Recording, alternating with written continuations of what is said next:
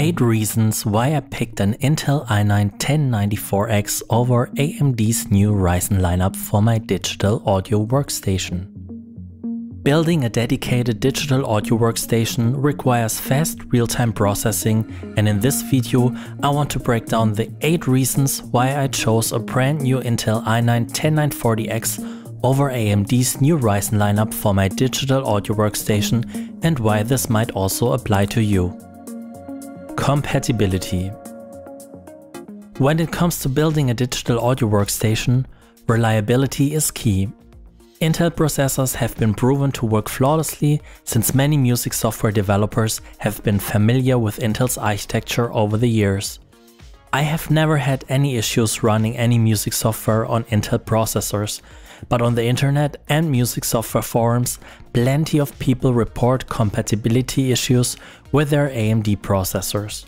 Some report MIDI issues, others complain that certain software plugins are not compatible. I also trust my professional DAW builder in Berlin, Germany, who also highly recommended to stick to the Intel platform when it comes to digital audio workstations, and that is one of the reasons why they don't offer AMD DAW builds anymore. That being said, I'm really curious to hear about your experiences, so please leave a comment below and also tell me why you picked a certain CPU and which one it is. Performance the key to satisfying performance of a digital audio workstation is its real-time capability.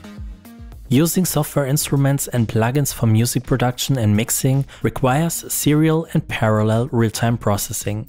So in my case, where I use many audio and software instrument tracks, but also do heavy processing on individual tracks, mix buses and use mastering plugins on the master channel, Intel offers CPUs with a good ratio between CPU clock speed and number of CPU cores.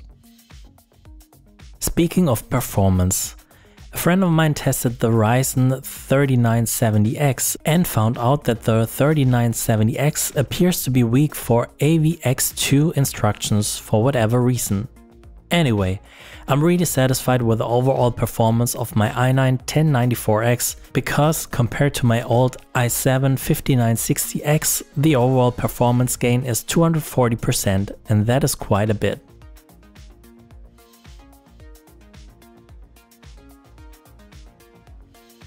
CPU clock speed.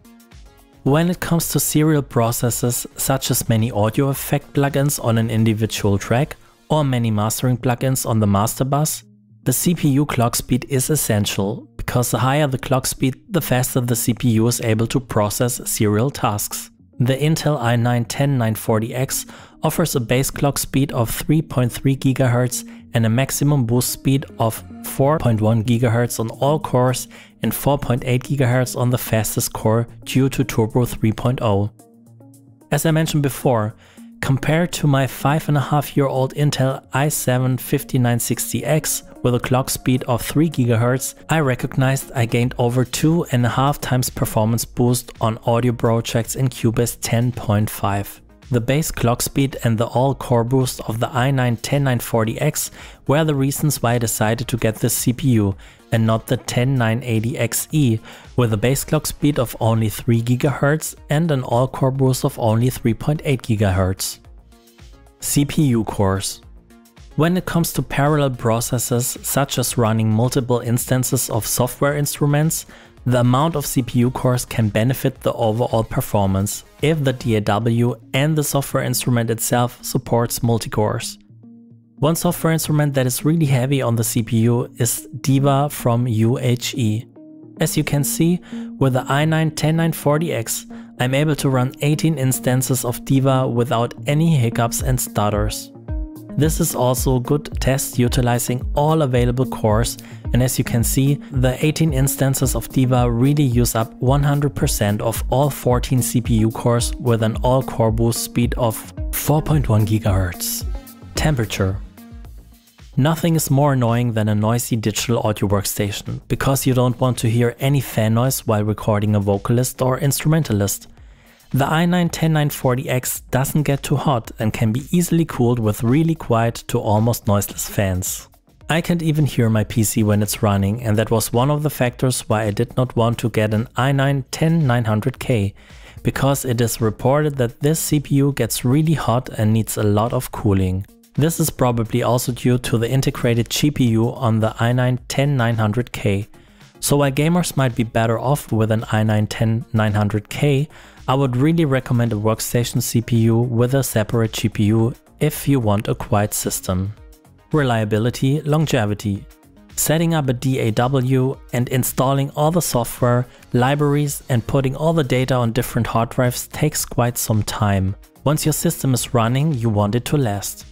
Intel workstation CPUs such as the i9-10940X are built for longevity and even after 5.5 years my i7-5960X was running perfectly.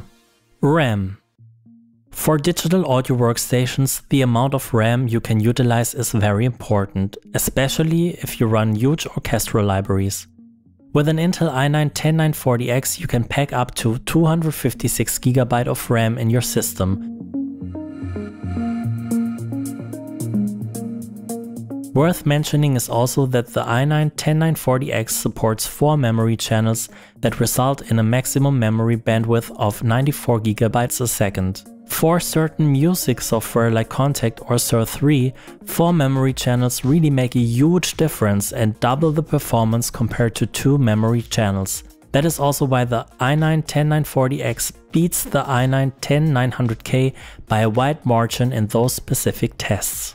PCIe lanes. The i9-10940X comes with 48 PCIe lanes that help you to get maximum transfer rates from a large number of SSDs and when it comes to digital audio workstation builds, it is always recommended to put the main software, the project files and samples on different hard drives for best performance. That brings us to the conclusion.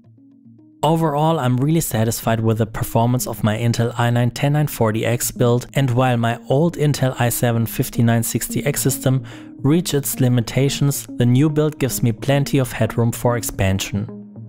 So I hope this review was helpful and if you have any questions regarding my digital audio workstation, leave a comment below. If you liked the video, I would really appreciate it if you give it a thumbs up and subscribe to this channel. More tech and music production related videos will be posted soon. So see you next time and have a great one.